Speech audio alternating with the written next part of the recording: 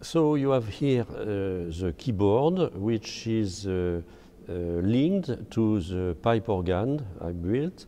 And any keyboard like this can be, any MIDI keyboard can be linked, can be plugged on my software on my PC. The important thing is that one can control the number of registrations. Here I have constant sound I can change the sound. But if I push this button, I'll change dynamically the registration.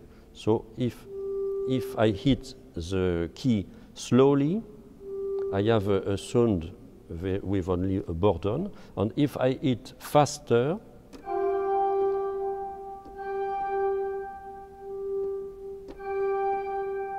you, you can hear the difference.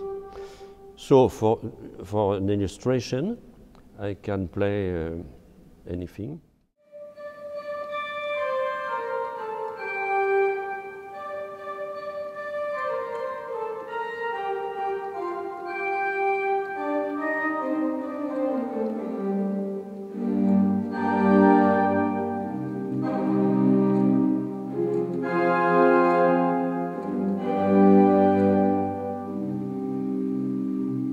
So with this system, you can control both the registration and the keys dynamically. So it's an expressive, an expressive and sensitive pipe organ.